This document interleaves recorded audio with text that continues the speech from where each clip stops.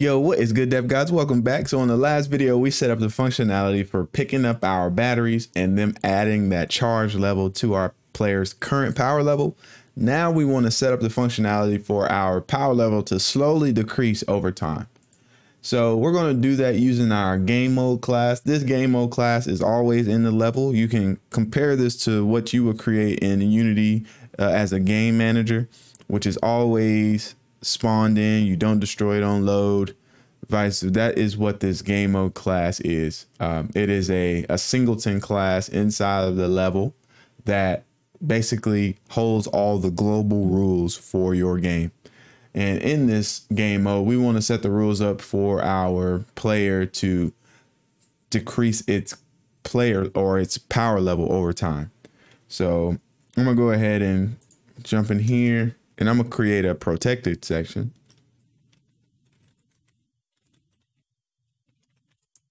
And in that section, I want to go ahead and create a couple of variables. So I want a U property that is edit defaults only. Um, I want to read and write to it in Blueprint. And I also want to see it in a category called power.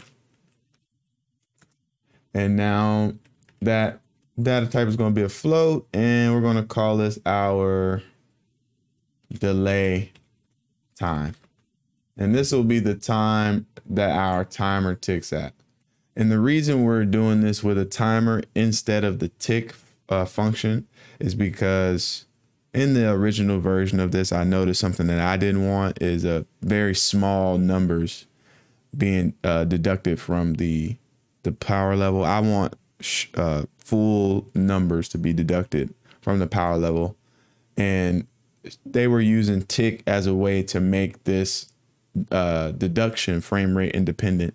But the way timers work in Unreal is that they are calculated using real world time. So once your game starts, there's a timer uh, that is calculating the world time. And if you start a timer, it'll start counting your timer as well using that same world time or real world time. So it will be frame rate frame rate independent because the real world time doesn't change depending on uh, how many frames you're getting in your current game.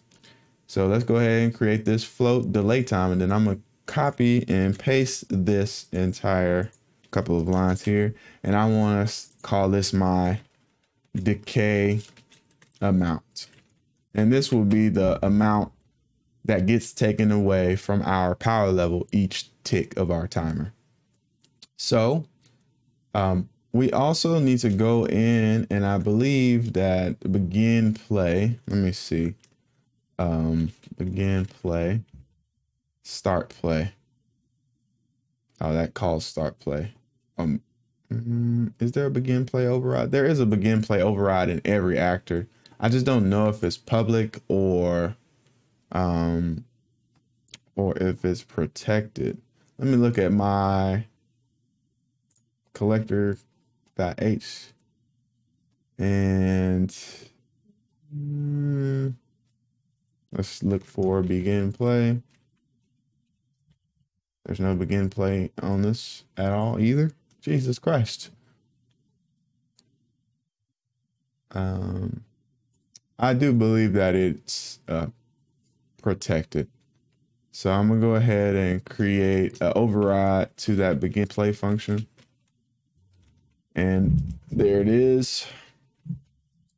So in this begin play, once the game starts, we want to create a timer and start ticking it.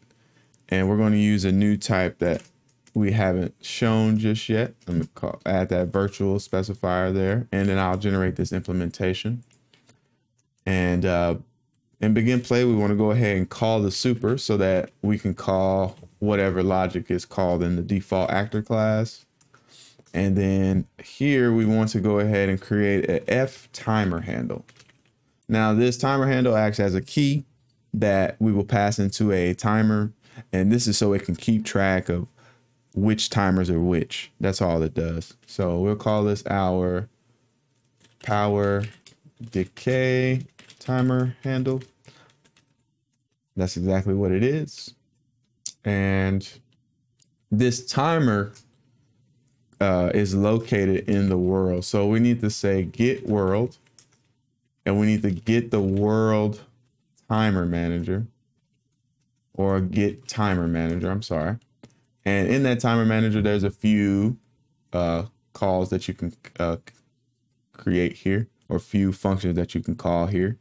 We got set timer, we got clear timer, we got pause timer, but the one we want is uh, set timer. So this will set a timer and you'll see that this timer takes in a handle. It takes in a, uh, this one takes in a delegate, but the one that we're going to use is this one here. It takes in a handle. It takes in a, a, a class or object, and then it takes in a address to a method that you want to call. And it takes in that, that rate and it says whether it wants to delay or not, or um, have an initial delay. So we need to go ahead and pass in all the things we need. So we need the handle, which is our power decay timer handle. We need our object or our class, which is this. And we need an address to a function that we haven't created yet. So I'm gonna go ahead and create the address because I have an idea what I want to call this. I want to say a battery collector game mode, and let's give it the function start power level decay. And this function will start our power level decay. And we haven't created it yet. That's why we're getting this error. So the next thing that we need to pass in is our in rate. That is our decay rate that we created or our, uh, our delay timer. Delay time is what we called it. And do we want this to loop? Yes. So we go ahead and set that to true. And then we can go ahead and jump out of this function because that's all we need. So now let's go ahead and copy this name here and let's go to our header file. And in our protected section, let's go ahead and create a void start power level decay function. And we want to go ahead and create an implementation of it. And all we're going to do in this function is set our power level equal to, uh, we're going to call that function in our character class to, to update our power level. And then we're going to pass in a value. So we want to go ahead and say well, first we need to get, first we need to go ahead and get a reference to our player class. Then we need to call the timer or call the function that updates our power level. And we only want to do that if um, if our power level is positive. So we want to make sure we check if our power level is greater than zero.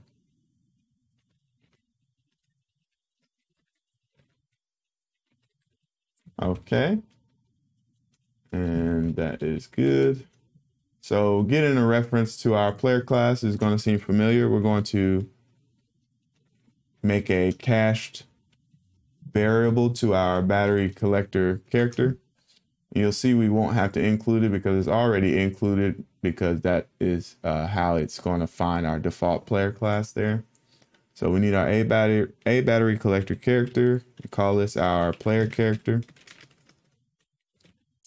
And the way we're going to get this character is by casting to that type because we want to make sure that it's this this type because at some point you you will probably use a spectator class at one point, and we don't want the game to crash um, when this is called.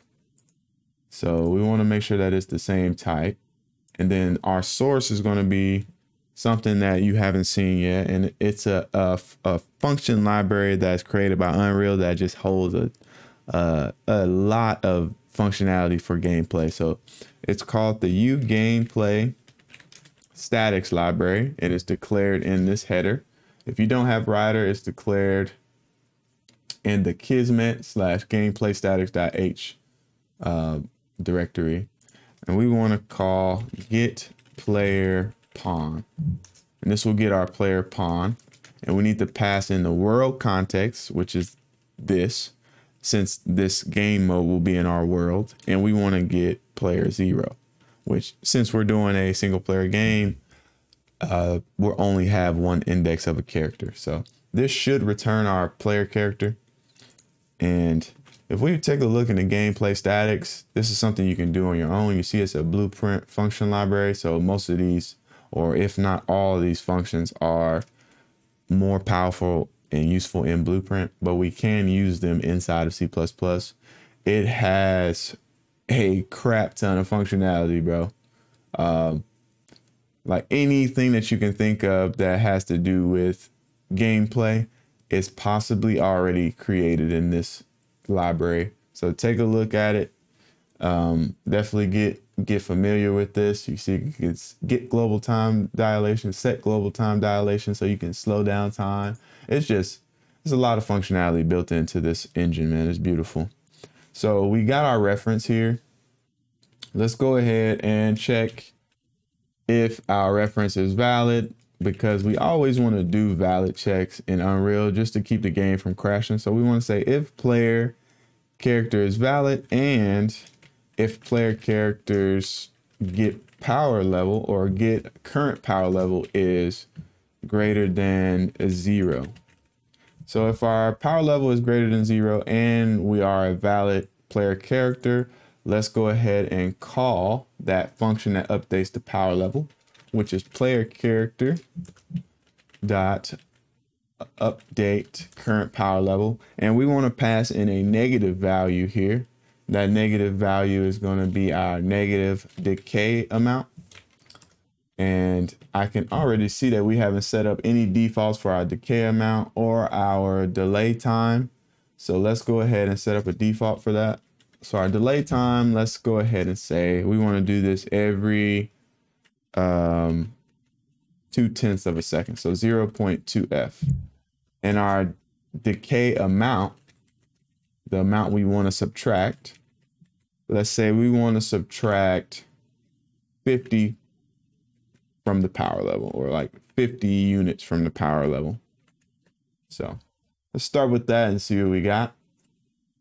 And I think we have everything that we need here. So I'll go ahead and run the editor. See if we ran into any issues in the build here. Okay, clean compile. Um, I'm trying to think. I always want to try to think and see if I'm going to run into any issues, but I think we're good. So what I'm going to do is I'm going to press play here and I'm going to navigate to my character and let's see if that power level is decreasing. Yes, that power level is decreasing at a crazy rate.